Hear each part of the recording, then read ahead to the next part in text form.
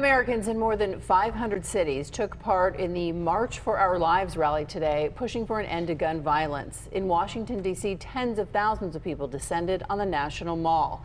Speaker after speaker calling on senators to take action, sparked by the recent mass shootings in Uvalde, Buffalo, and elsewhere. And here in San Diego, a large crowd marched near the county administration building.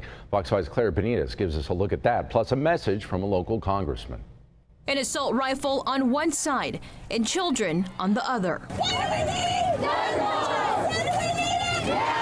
Asking, which side are you on? Today we're calling on our elected leaders to listen, to act, and to make changes that the majority of Americans want, regardless of their party. Hundreds of San Diegans rallied in March to demand an end to gun violence in front of the county administration building.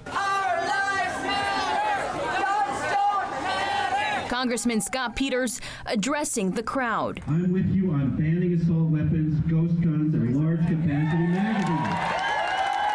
The rally and march, a part of a nationwide movement. In Washington, D.C., March for Our Lives is having a humongous rally, and they organized marches all over the country on the same day to demand that our government pass, finally pass sensible gun regulation so we can keep our, our people safe. After several recent mass shootings in the last few weeks, San Diegans are saying enough. We, we've been voicing this since Sandy Hook and before that, Virginia Tech, Columbine even, and nothing, nothing, nothing has been done.